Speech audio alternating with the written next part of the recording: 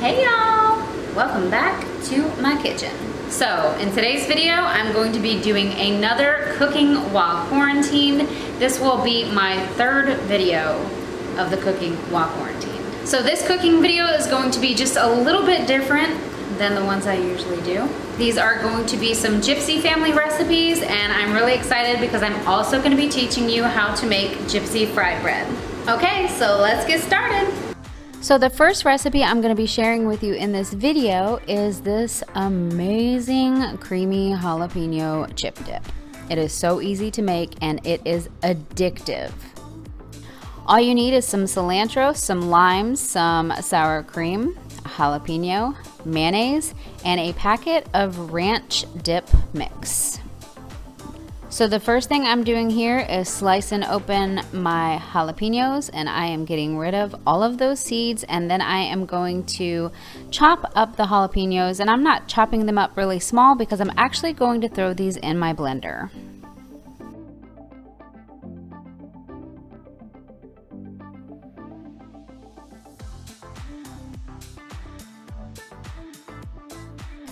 So chop up your jalapeno and then get some cilantros. I didn't measure or like count up how much cilantros I used and I actually ended up adding a little bit more after, so just use as much as you like.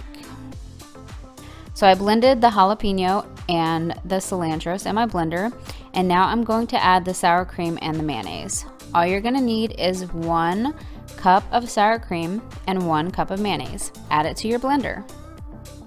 You can also add more or less of the jalapeno if you don't want it super spicy.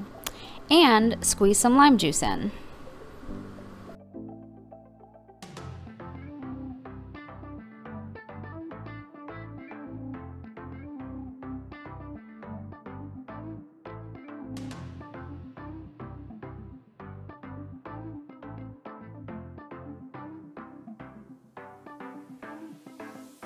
Then you're gonna add your packet of the ranch dip seasoning.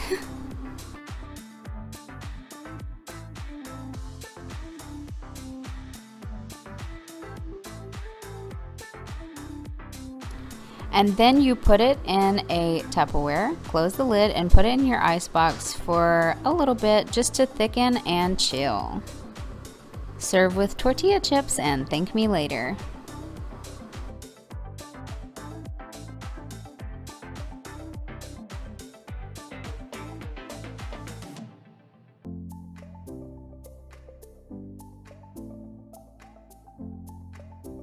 Okay, so next up we are making chicken fajitas to go along with our tortilla chips and dip. And I'm just cutting all my stuff up, getting it ready so I can cook my fajitas. We got some limes and cilantros to go on top, and then I'm also going to be cutting up my bell pepper and onion.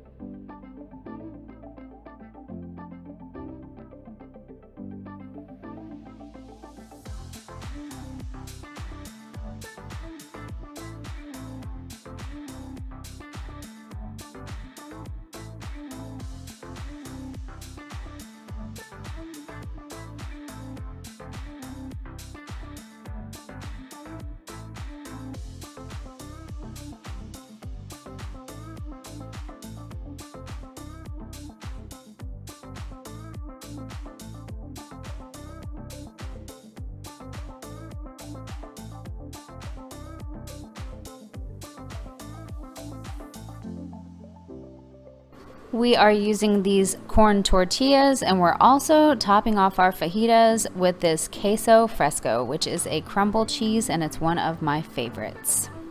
For the fajita meat, I'm just using this pre-seasoned pack of chicken fajita meat from Kroger.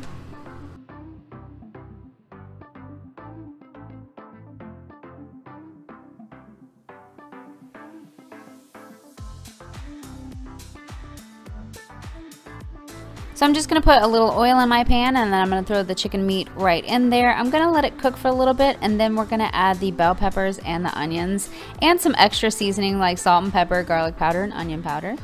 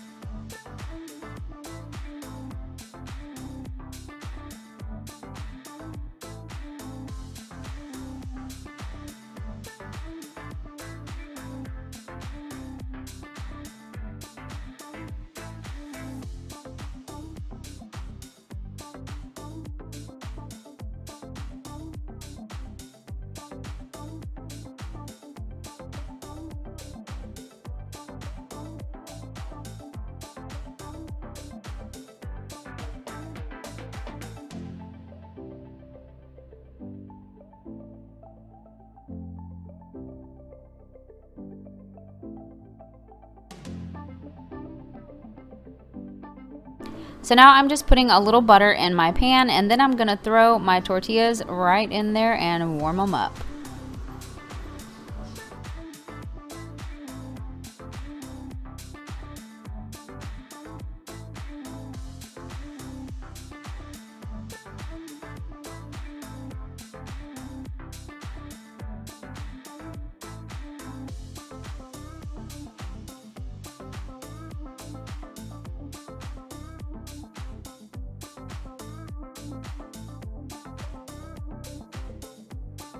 So now I'm just showing you all my little fixins and my chicken, tortillas, everything is ready to be eaten and girl, trust me, it was delicious. So the next day I ended up making this pico de gallo because I had some leftover creamy jalapeno dip and we had more chips left so I made some pico de gallo to enjoy along with the creamy jalapeno dip.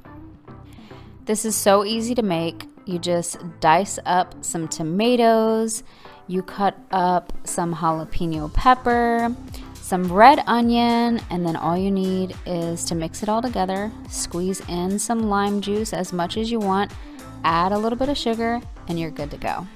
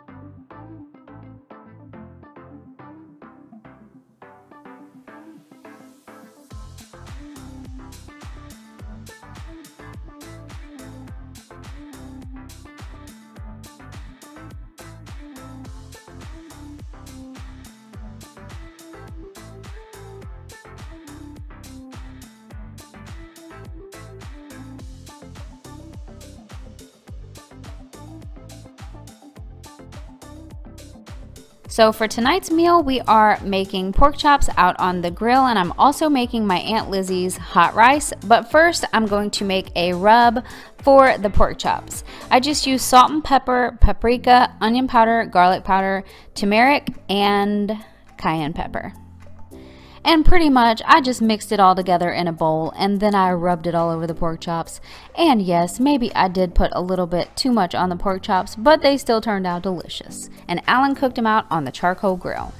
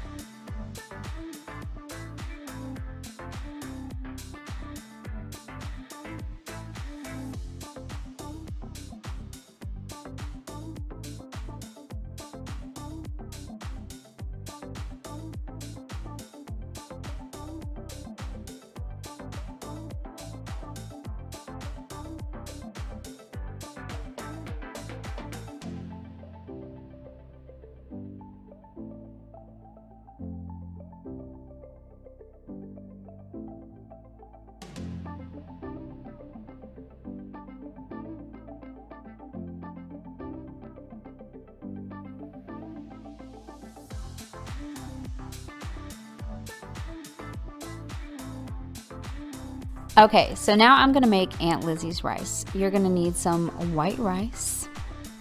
You're also going to need some bacon, jalapeno peppers, tomato sauce, butter,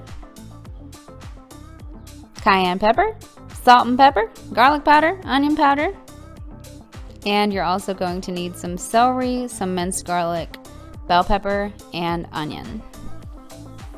This rice is delicious and it's so easy to make. All you do is dice up your onions, dice up your jalapeno pepper and your bell pepper, and you also chop up your bacon. I actually used my kitchen scissors, which you'll see in a little bit. It's just so much easier for me to do, and you should totally try it and thank me later. After you get done cutting up all of your vegetables, just go ahead and throw that bacon right in a pan or a pot. Um, fry together the bacon, the chopped bell pepper, the onion, the celery, and the garlic, and the jalapeno pepper, and the butter. And then once that's done cooking, you add that tomato sauce, add a little bit of sugar, don't forget, and then you add in the cooked rice and then season it with salt and pepper, garlic powder, onion powder, and then you do the cayenne pepper to taste. Now, if you want it super spicy, uh, go ahead and add extra. I personally wouldn't because, girl, heartburn. Mm-mm. But uh, yeah, it's so easy to make and it's delicious.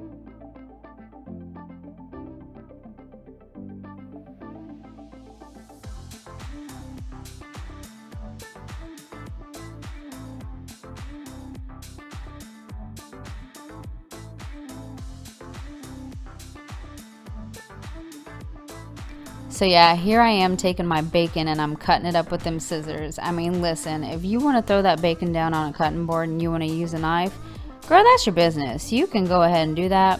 But trust me when I tell you, kitchen scissors is the way to go. You can even cut up vegetables. You can do all kinds of stuff with these things.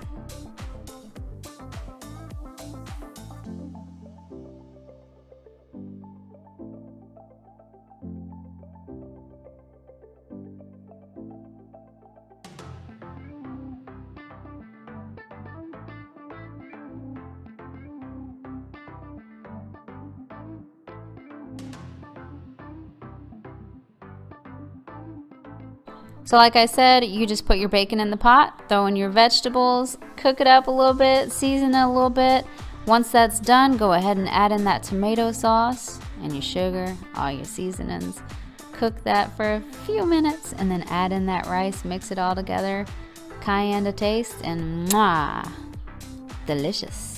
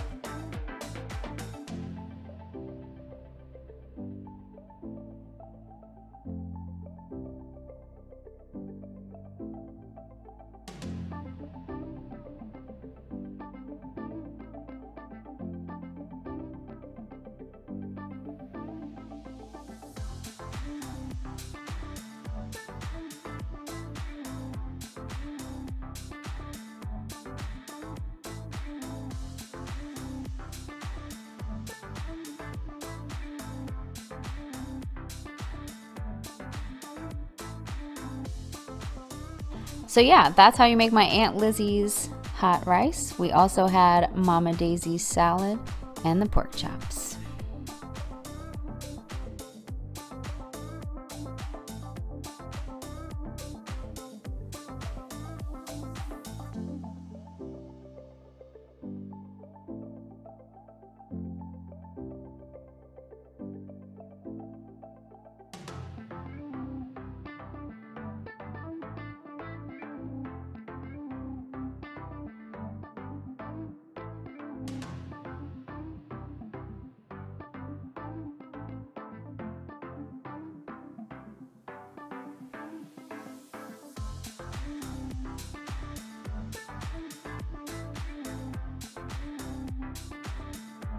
Next up, we are making hamburger patties with white rice, onion gravy, sauteed onions, and my granny's stewed tomatoes.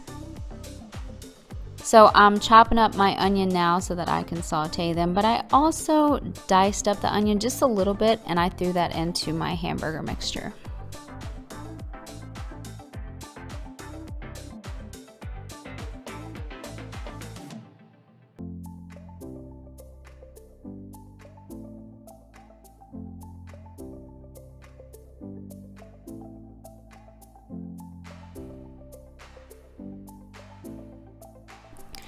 The hamburger patties, all you need is hamburger meat, all your seasonings, which is salt and pepper, garlic powder, onion powder, Italian seasonings, and some Italian breadcrumbs, an egg, and some Worcestershire sauce.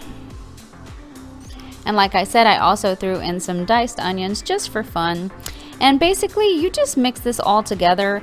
And if it starts looking too wet, then you want to add the breadcrumbs. You don't want it to be too dry or too wet. You've got to find like a perfect balance, which is easy to do because you just keep adding a little bit at a time until it looks like the perfect texture, I guess. And then you just form the patties.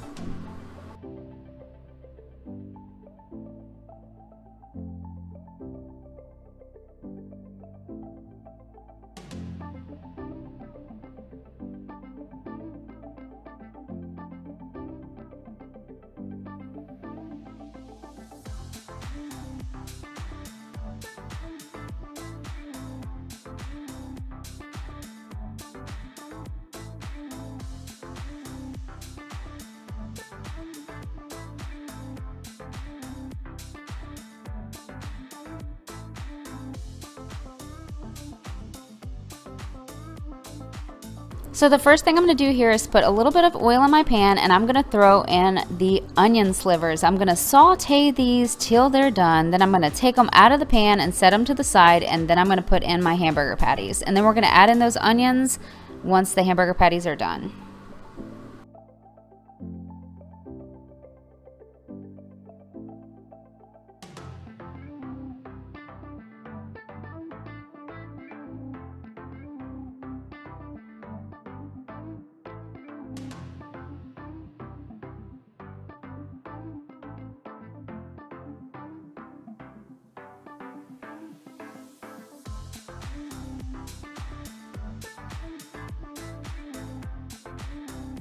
So now I'm gonna get my gravy ready and I'm literally just using a packet of onion gravy and this stuff was delicious and it paired perfectly with the sauteed onions on top of those burgers.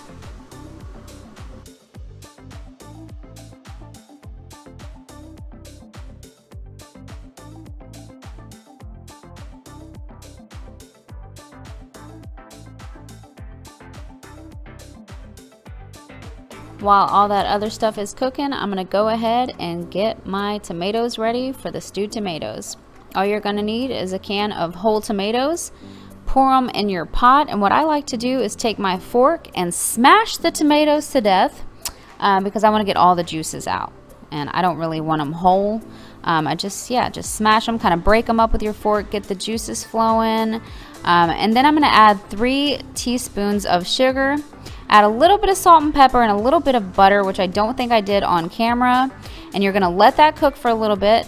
And right when you're about to serve them, you're gonna add in the bread, which I'll show you um, in a few minutes, because this is the type of thing that you wanna serve immediately because the bread does get soggy and you don't want it to be too soggy.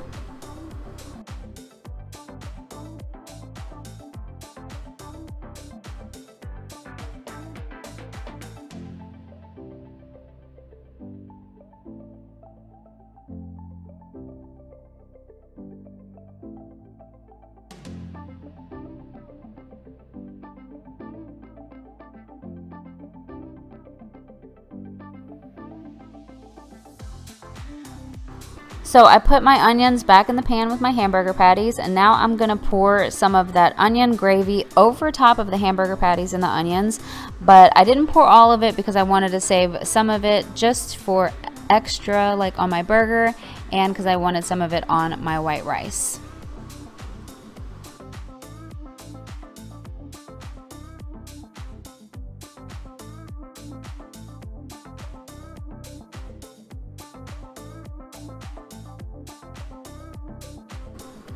So I took out some of the tomatoes because Alan didn't want the stewed tomatoes, but he did like the tomatoes and wanted it to go on top of his rice.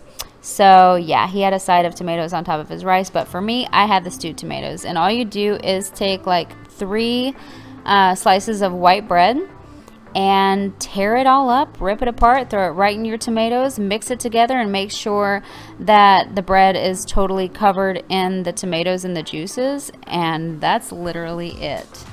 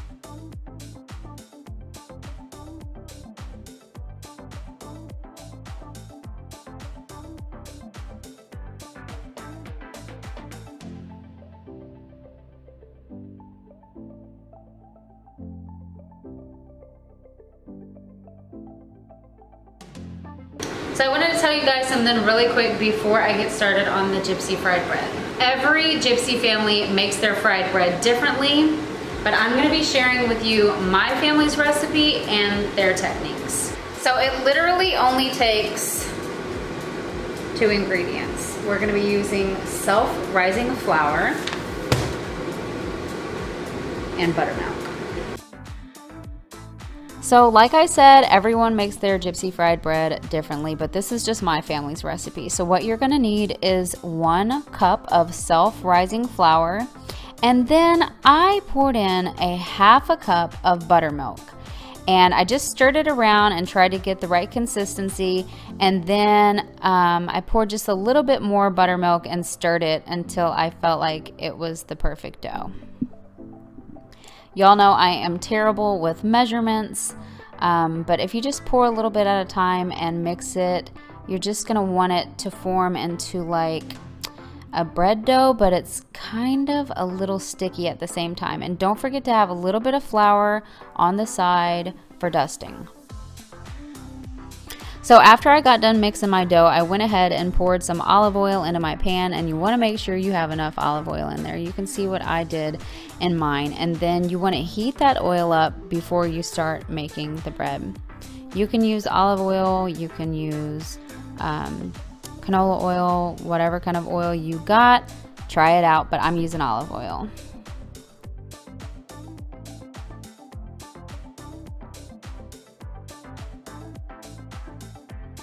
So after I mixed it up really good with my fork, I went ahead and kneaded it just a little bit with my hands. And I'm tearing it apart right now to kind of show you guys the consistency. It's thick, it's a little stretchy, and very doughy. So you can eat this fried bread on its own, or you can add a little bit of butter, or you can eat it the way I like it. I love to cover mine in butter and then I smother it in honey and that's the sweet way of eating it. Or you can eat it with jams and jellies, syrups, whatever you're into. Or I also like to make this little mixture of Italian seasonings, uh, salt and pepper, and olive oil, mix it all together, and then you can dip that buttered bread right into that. It is absolutely delicious. But my favorite way is with butter and honey. Oh, and I also added a little bit of garlic powder into that olive oil mixture.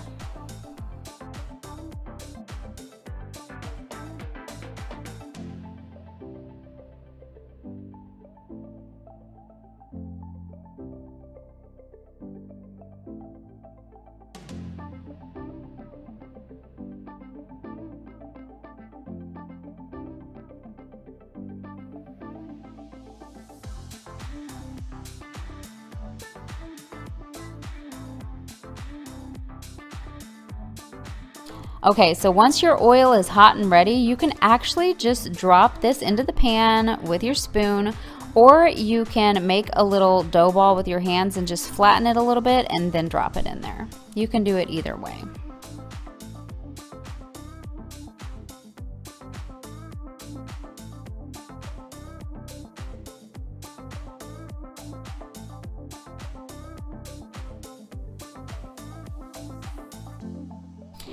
Once you get the dough in the pan, flatten it a little bit with a spoon or a fork and then keep a good eye on it. Cook it on like low medium heat and when it starts to turn golden, then you're going to flip it and smash it either with a spatula or a fork like I'm doing. They don't take that long to cook, so keep an eye on it and just flip it a few times till it's golden um, on each side and then take it out of the pan, put it on a plate.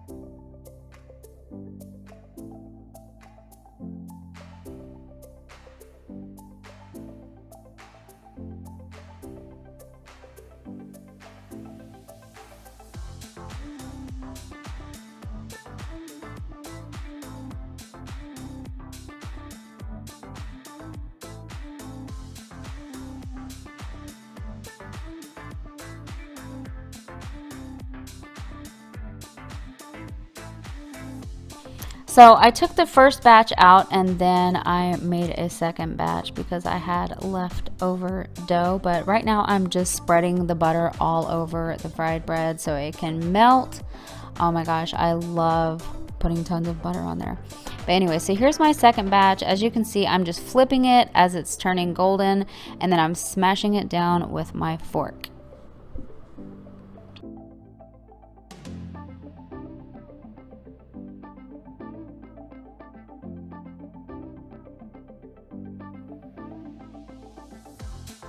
And that's really all there is to it. Like I said, you can eat it uh, with honey and butter, or you can eat it uh, with the olive oil mixture, or you can just eat it with butter or by itself.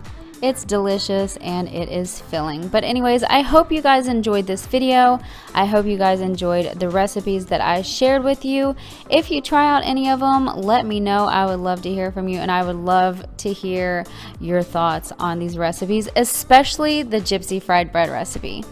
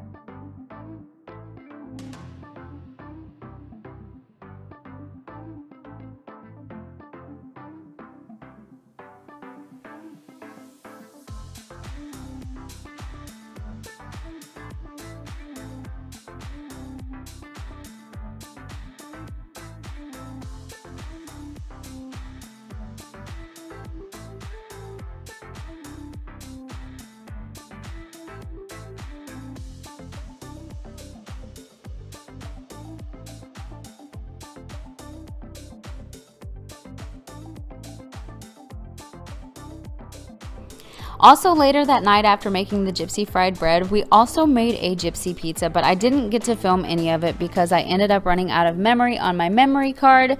But this is what it looked like and it was so good. Oh my gosh. If you guys want to know how I made this, let me know in the comments down below and I will share that recipe also with you.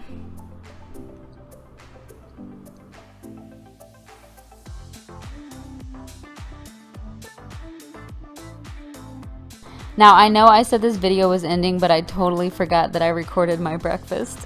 so, um, pretty much I just put some bacon in the frying pan, put a little pepper on top, mixed up my eggs with some salt and pepper, threw my bacon in that pan, and then once my bacon was done, I just threw the eggs right in the same pan with that bacon and mixed it all together. I was actually making um, some breakfast tacos, which turned out so good. Um, so yeah, I'm just salt and peppering my eggs. I'm putting a little butter and a little salt in my frying pan for my corn tortillas. And as you can see here, I just threw the eggs right in with the bacon. Mix it all together. I added a little bit of cilantro in there.